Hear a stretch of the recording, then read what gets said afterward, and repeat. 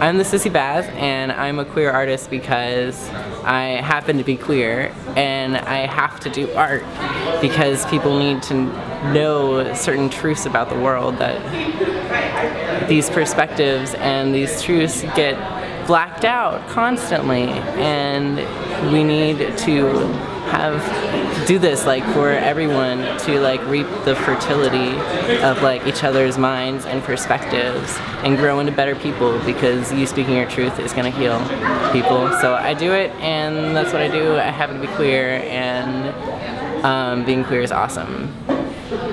The end